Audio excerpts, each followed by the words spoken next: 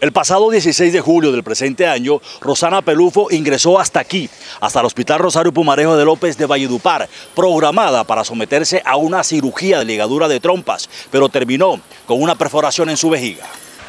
Pues yo lo que quiero dar a conocer es que a mí me habían programado para hacerme una cirugía de ligaduras de trompa.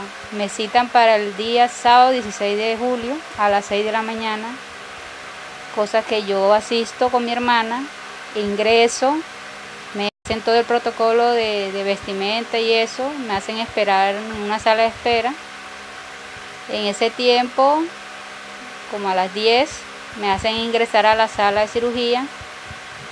Dialogo con la doctora, eh, me hace preguntas normales.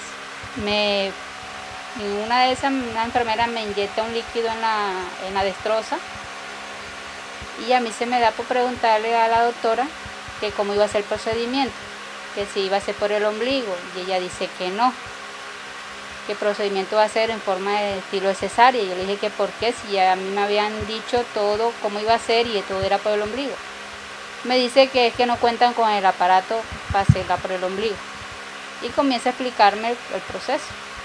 Sin embargo, en eso yo no sé, me duermo, no sé más de mí. Cuando me despierto ya en la sala de de recuperación. Tanto fue insistir, insistir, insistir hasta que logré hablar con el médico ya cuando la suben a piso. Y le exijo que me lea la, la epicrisis. Entonces él me dice, sí, ella tuvo una pequeña complicación. Para ellos pequeña, que eso puede ser mucho más grande. Eh, donde tuvo una pequeña rotura en la, vejiga, pero ya, ya se intervino. Entonces, tiene que estar con, con la sonda. La mandaron por 14 días. 14 días tengo que volver a llevar otra vez para ver si se la retiran, si está bien o está mal. Sí, esos son exámenes que otro serie que viene, porque realmente decirle que eso va a estar bien en 14 días es como difícil. ¿Le han correspondido a ellos, digamos, con todo lo que tiene que ver con asistencia médica y todos los gastos? No, aquí no ha llegado nadie, nadie, nadie, nadie. Aquí nadie ha llegado, de parte de ellos no, nada. Es que es más, yo siempre lo dije, la ginecóloga que la, estuvo en la cirugía de ella nunca se acercó al cuarto donde estaba ella en recuperación. Eh, nunca le hizo una ronda, por lo menos decirle, vea, yo fui el que lo operé, yo, de parte de ella ni del hospital, pues la atención que le dieron allá, pero aquí en la casa nadie. ¿Usted tiene conocimiento cuál fue el especialista que le hizo la cirugía? Ella se llama Olena Mindiola. Ella, eh, le dicen la, la rusa, le dicen a ella. Lo, por lo, lo, realmente que veo yo también raro es que eh, para eso hay un acompañante y debían haberle por lo menos informado al acompañante que la cirugía iba a cambiar, que no estaba, no contaban con los instrumentos, eh, si uno aceptaba o no aceptaba, pero nada, nada, nada de eso hicieron, todo fue, lo hicieron así. Héctor, ¿ustedes eh, ya empezaron, piensan proceder legalmente?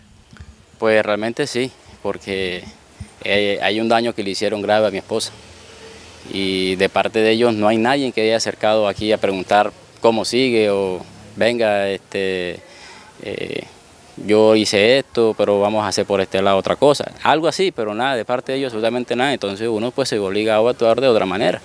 Por lo pronto, Rosana Pelufo se recupera en esta vivienda ubicada en el barrio Sicarare de Valledupar, a la espera que desde el Hospital Rosario Pomarejo de López se responsabilicen en lo que ella manifiesta es una evidente negligencia médica. Con la cámara de Juan Balca, este fue un informe de Yair Pimienta para CNC Noticias. Ricardo Rojas Osorio, especialista en moda masculina y femenina diseñada y confeccionada de manera exclusiva. Agenda tu cita en el celular 318-401-0676. Ricardo Rojas Osorio, confección y elegancia.